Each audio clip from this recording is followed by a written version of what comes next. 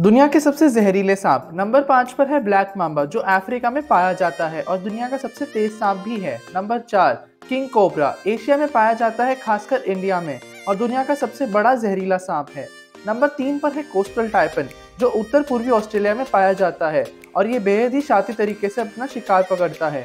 Number दो, eastern brown snake ये भी ऑस्ट्रेलिया में ही पाया जाता है और वहाँ की सात प्रतिशत सांपों से होने वाली मौतों का यही जिम्मेदार है और पहले नंबर पर है इनलैंड टाइपन ये भी ऑस्ट्रेलिया में ही पाया जाता है और इसकी एक बाइट सौ लोगों को मार सकती है। पर कई लोगों का कहना है कि ये खिताब बेलचस सी स्नेक के नाम है, जिसके जहर की एक बूंद 1800 लोगों को मारने का दम रखती है। कुछ नया जानो तो लाइक, शेयर और सब्सक्राइब करें।